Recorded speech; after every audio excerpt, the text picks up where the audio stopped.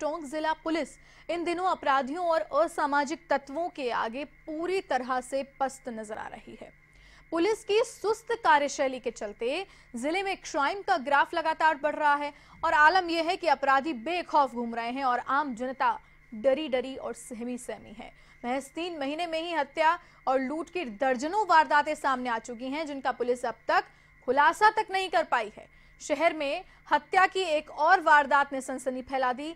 हत्या की यह घटना ज़िले के नगर फोर्ट थाना इलाके के भोजपुरा गाँव की है, जहाँ बाइक सवार आधा दर्जन हथियारबंद बदमाश घर में घुसकर पिता पुत्र पर हमला करते हुए पाए, जिनकी चीख पुकार सुनकर बाहर निकली महिला को देख हमलावर मौके से फरार हो गए। लोगों ने निजी वाहन से घायल पिता पुत्र को सादत अस्पताल में भर्ती करवाया, जहाँ चिकित्सकों ने पिता धनालाल गोस्वामी को मृत घोषित कर दिया।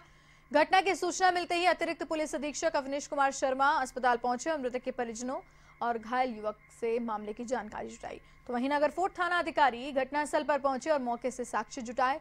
फ़िलहाल मर्डर के इस पूरे मामले में हमले की वजह फ़िलहाल साफ़ नहीं हो पाई है। पुलिस ने मृतक का पोस्टमार्टम करवाकर शव परिजनों को सुपुर्द कर दिया है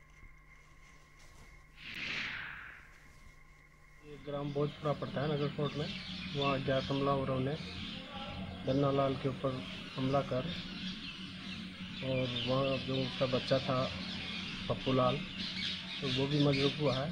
दोनों को यहाँ सादत अस्पताल में लिया है और उसके पिता लाल की मृत्यु हो गई है और पप्पू लाल का इलाज चल रहा है।